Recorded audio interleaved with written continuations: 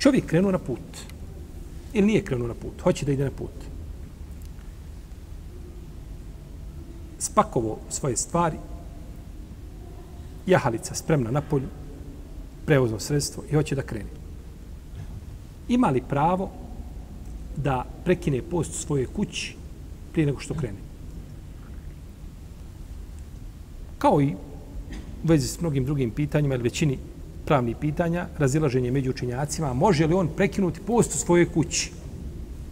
Može li doručkovati, upaliti auto i polako krenuti? Autor je ovdje spomenuo hadis kome kaže bilježi ga dare kutni u svome sunenu Denesa ibn Malika od Muhammed ibn Kjab Denesa ibn Malika da je rekao, kaže, kaže Muhammed ibn Kjab, došao sam kod Denesa ibn Malika, a on kaže pripremio jahalicu na polju, želi ići na put, a kaže sunce približilo se za, zalasku. Pa je prekinuo post i onda krenuo. Pa sam ga, kaže, upitao, je li to sunnet? Kaže, je li to sunnet? Kaže, da. Jeste, to je, to je sunnet. Ovaj hadis, ovaj hadis kaže za njega imam Tirmizi je dobar. I Tirmizi je zabilježio ovaj hadis.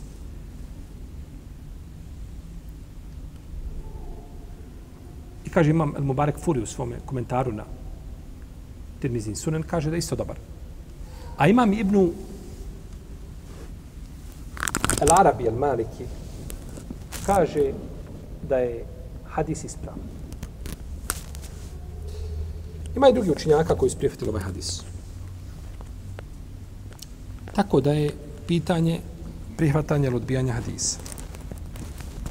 Ko prihvati hadis, prihvati će propis. Ko ne prihvati hadis, neće prihvati propis. I to se završava. Da čovjek, znači, prekine post prije nego što krene iz svoje kuće. Ovdje je Enes ibn Malik upitan, to je postupak Enes ibn Malika, ali kaže, je li to sunnet? Kaže, da. Dobro, čiji sunnet? Sunet Ebu Bekra, sunet Omara, Osmana, sunet jedne skupine ashaba. Može li biti? Ili je sunet poslanika, sa osname, u tom terminološkom smislu? To je razilaženje među učenjacima. Većina pravnika kaže, ovi većina učenjaka islamske jurisprudencije kažu, kada kaže ashab da je nešto sunnet, misle da je to sunnet poslanika, sallallahu sallame, i isključena je mogućnost da to mogu biti sunnet Ebu Bekra ili Omara ili nekoga drugog od ashaba. Tako spominje Imam al-Hakim u svom dijelu Marifitul min hadisi, spominje isto to ovaj Imam al-Hatib u svom dijelu Kifaj, spominje Ibn Hajar u Fitul Bariju, Imam Sujuti u Tadibu Rao i drugi učinjaci spominju tu činjenicu. Znači da kada kaže ashab da je nešto sunnet, misle na šta? Ej, na sunnet poslanika Muhammeda, sallallahu alaihi. Pa bi onda shodno tome bilo, da tako, dozvoljeno prekidati post na kod kuće. Hasan al-Basri kaže, može se prekinuti kod kuće, a ima drugi rivajet, ne može se prekinuti u mjestu boravka. Ima Ahmed kaže, tek kada ostavi svoje mjesto iza svojih leđa. Izišao, ostavio svoje mjesto, izišao tablamu kod nas precrtana, ali tako, ovaj, ovaj izišao gore iz Brčkog i Brčko precrtano. Tek onda ima pravo da koristi šta?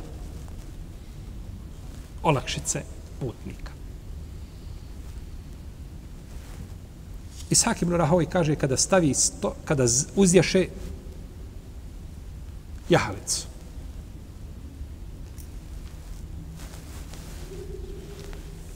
Pa je tu razilažen među učinjacima Ibn Munzir je odobro mišljenje mama Ahmeda. Kaže kada iziđe van mjesta boravka.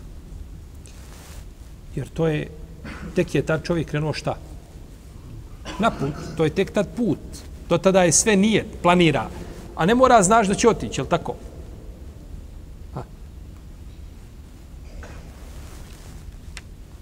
Pa je to razilaženje. Znači, uglavnom većina učenjaka nije prihvatila ovaj eh, da se eh, prekida post u mjestu boravka a, prije izlaska.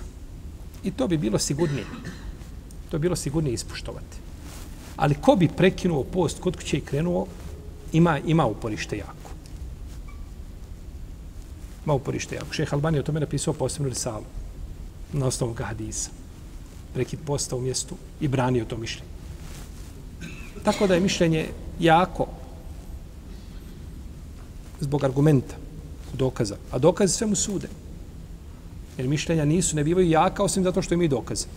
Da nema dokaza, mišljenje ne bi znači imalo svoju vrijednost. Ostalo bi puko mišljenje.